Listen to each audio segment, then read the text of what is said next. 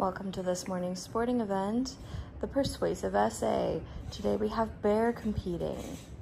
How unusual. Is your argument that you should have another treat because you finished your breakfast after you finished your first treat? You're adorable.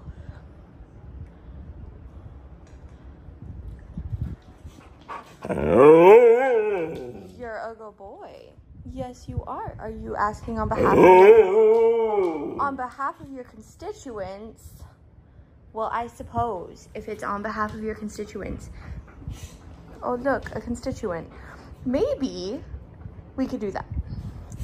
Although I am noticing that you two have been a little spicy while I've been outside watering the garden. Do you have anything to say for yourselves?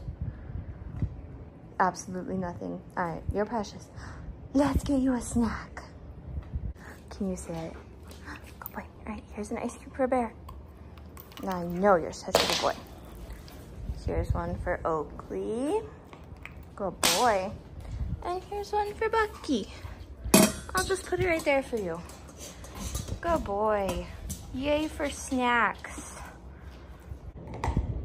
Ice cubes are not a quiet snack, in case anyone was wondering. You're good boys. Yes, you are. Is that a good snack? Yeah.